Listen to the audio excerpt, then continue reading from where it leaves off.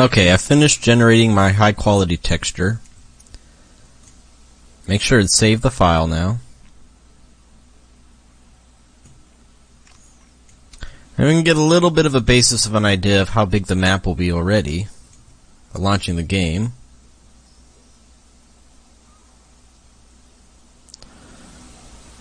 And kind of running around from one end of a beach to another.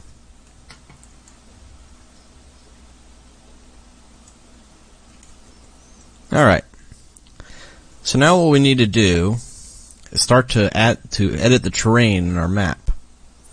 So what we're going to do is go up to the terrain, modify, flatten, and I'm actually going to pick a height. We're going to drop the ocean off here. So let's pick a height around 40.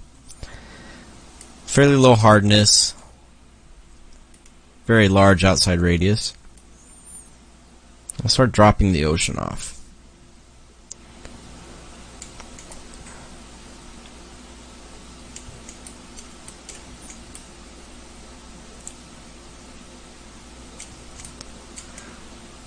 I'm actually going to turn off the ocean here. Just get all the edges.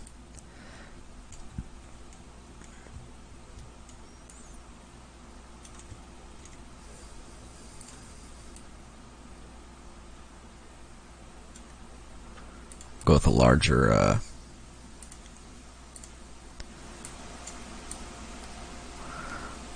larger paintbrush for this area. If you want to have a kind of a rolling ocean floor, you can turn on the noise here, set it for something like 5.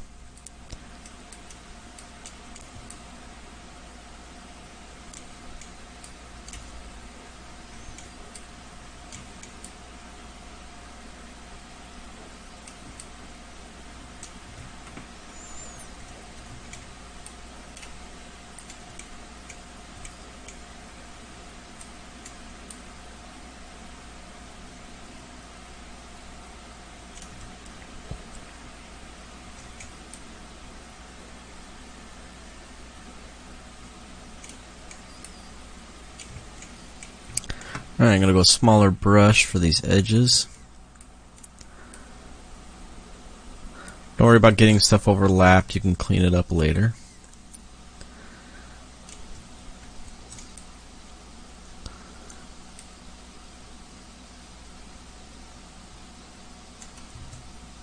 Undo that one.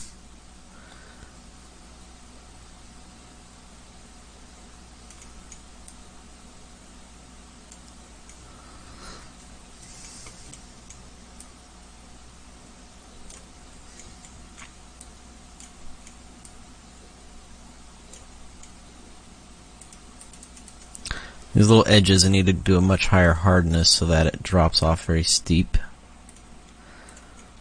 Otherwise, don't want any kind of any square edges in a in a wreath.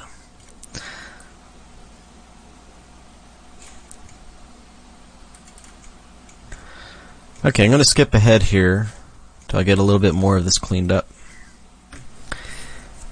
Okay, I have all my deep ocean areas dropped off here. Next we're going to drop off some of the edges. So set the hardness very low. Really low. Actually, and then set your height somewhere around 80. So that from viewed above, it just feathers these edges of the reefs. Don't worry about, again about overlapping it. You're going to need to go from coarse to more detailed as you move in.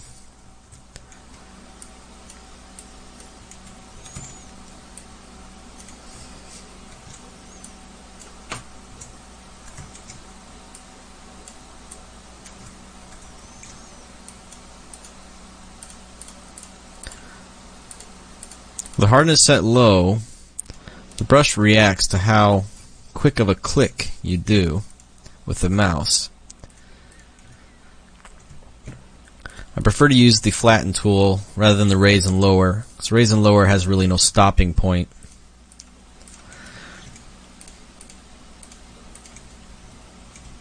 I can actually set my hardness even lower, my radius even larger.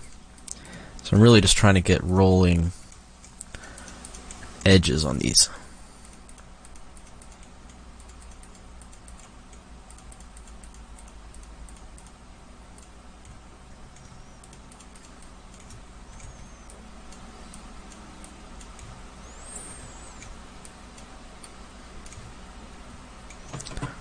Again, don't worry about these rocks and outcroppings, and even if you get up to the beach, we'll edit all this as we get into the beach.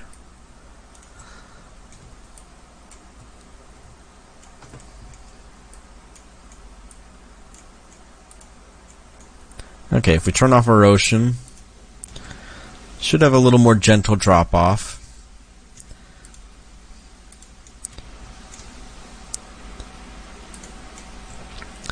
Okay, so now what we're going to do is try to set the level for these reefs. So reefs are fairly shallow.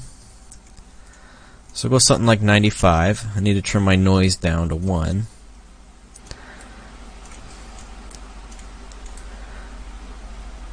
And if you want, you can go ahead and in-game and test it in game.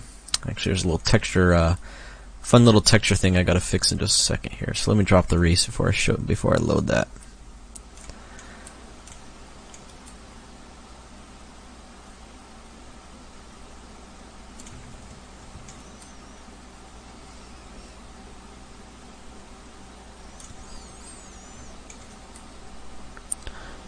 Now, if you want to get real detailed, the dark areas are actually the edges of reefs, and the blue areas are actually sand. In reality, as you could get really detailed as far as if you want to uh, go scuba diving in your map.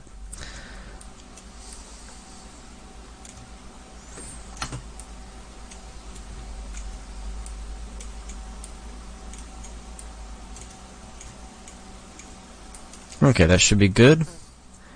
Now I got these sandbars. They're actually extremely shallow water. So I'm going to go somewhere around 98. Sea level's at 100. And drop these areas down under the water.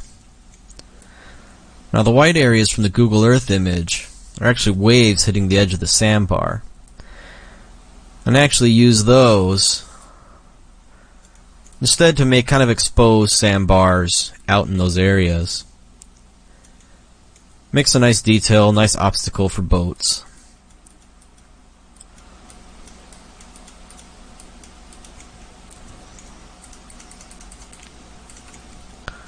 Again, using the brush like a paintbrush in Photoshop, just clicking a little bit at a time. Drop all the edges of these beaches. Again, don't worry about submerging rocks and such underwater. We'll get them later.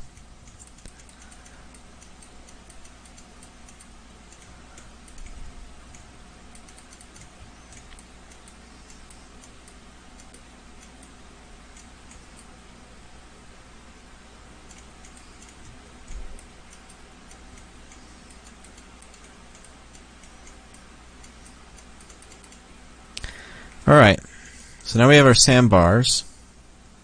Oh, again, we've got that texture thing. I'm going to cover textures in a whole nother tutorial, so I'm trying to avoid it right now. And so let's set our beaches. I'm going to set them at about 100.5, so they're really rolling, just gentle beaches. Set my brush fairly small. Again, my hardness extremely low.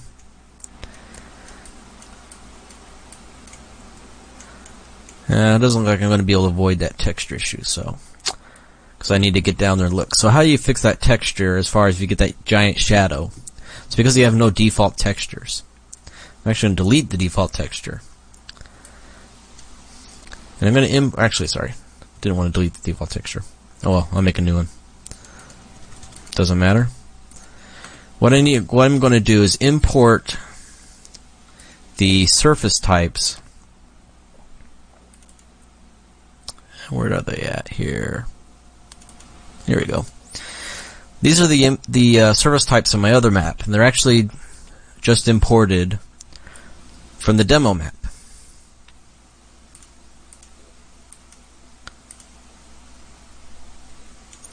Once those are imported, you'll have a default texture and you can zoom all the way down in. Alright, so let's get back to fixing beaches. And actually, my beaches are dropping because I have noise turned on. Noise always seems to go in the negative direction. So if you want noise, usually you gotta change your height just a little bit.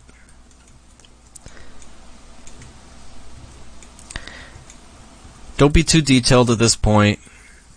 You're trying to get a general shape of the island. You go back later and fix things make it more detailed as you go.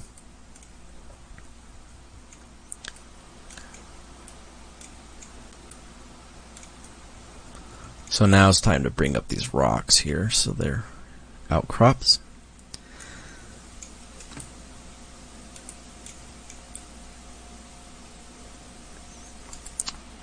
Alright, I'm going to try skipping ahead here.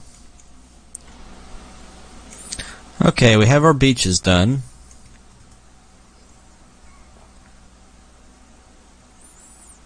And you get as detailed as you want. Swim out to the edge here.